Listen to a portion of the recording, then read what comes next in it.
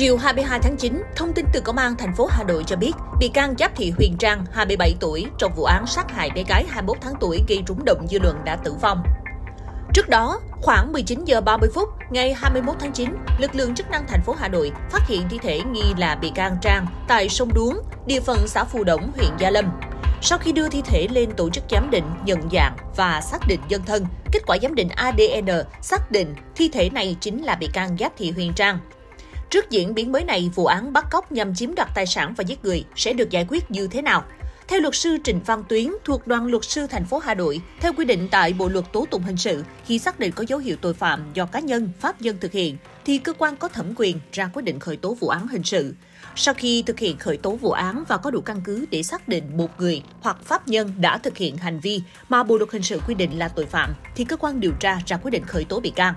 Trong vụ án liên quan đến bị can Giáp Thị Huyền Trang, cơ quan tố tụng xác định có dấu hiệu tội phạm và người thực hiện hành vi phạm tội. Do vậy, công an thành phố Hà Nội đã khởi tố vụ án bắt cóc nhằm chiếm đoạt tài sản, còn công an tỉnh Hưng Yên ra quyết định khởi tố vụ án khởi tố bị can đối với Trang về hành vi giết người. Tuy nhiên, sau khi các quyết định tố tụng được ban hành, đến nay cơ quan chức năng xác định bị can đã tử vong tại sông Đuống. Theo quy định tại Điều 230 Bộ Luật Tố Tụng Hình sự, về trách nhiệm hình sự, cơ quan điều tra sẽ phải ra quyết định đình chỉ điều tra đối với bị can. Còn về trách nhiệm dân sự, nếu hành vi phạm tội của bị can hoặc bị cáo mà đã chết gây thiệt hại cho người khác thì vẫn phải bồi thường hoặc theo thỏa thuận các bên.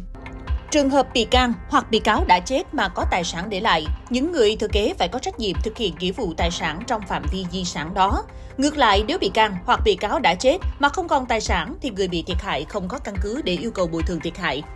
Người thân của bị can, bị cáo không có nghĩa vụ phải bồi thường thay trừ khi họ tự nguyện. Luật sư Trịnh Văn Tuyến thuộc đoàn luật sư thành phố Hà Nội cho biết, việc bị can chết và đình chỉ điều tra đối với bị can đồng nghĩa chấm dứt trách nhiệm hình sự trước pháp luật.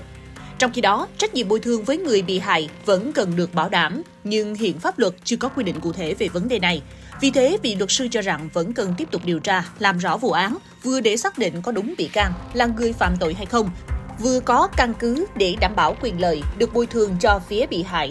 như báo Thanh niên đã đưa tin chiều 19 tháng 9 năm 2023, Công an thành phố Hà Nội tiếp nhận đơn trình báo của một phụ nữ về việc con gái 21 tháng tuổi của mình bị Giáp Thị Huyền Trang là người được thuê để đưa đón cháu bé đã bắt cóc đòi tiền chuộc 1,5 tỷ đồng.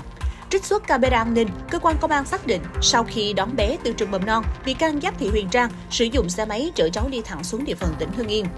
Trong khi di chuyển, Trang sử dụng nhiều số điện thoại để gọi điện, nhắn tin cho gia đình cháu bé đòi tiền chuộc, sau đó tắt máy nhằm che giấu đối phó việc truy bắt của lực lượng công an. Trên đường đi, bé gái bị mệt quấy khóc nhiều, bị căng Trang sợ lộ nên đã ra tay sát hại cháu bé để xóa dấu vết và bình đầu mối. Sau đó tiếp tục đòi tiền chuộc, quyết tâm thực hiện tội phạm đến cùng. Gia đình cháu đã nhiều lần chuyển tiền cho bị can này, tổng số tiền 550 triệu đồng. Tối 21 tháng 9 năm 2023, lực lượng chức năng phát hiện thi thể bị can Giáp Thị Huyền Trang tại sông Đuống, tại địa phận xã Phù Đổng, huyện Gia Lâm, thành phố Hà Nội.